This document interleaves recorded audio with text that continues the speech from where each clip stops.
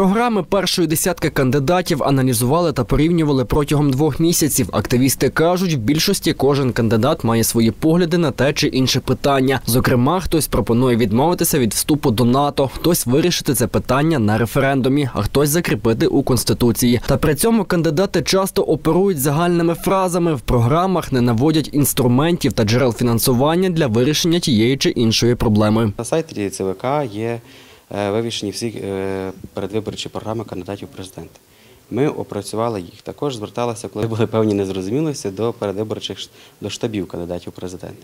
І тоді е, улаштовували собі, щоб було зрозуміло для людей певні моменти порівняння. Тобто кандидати деко- деколи мали якусь певну позицію або не мали позиції на те чи інше питання.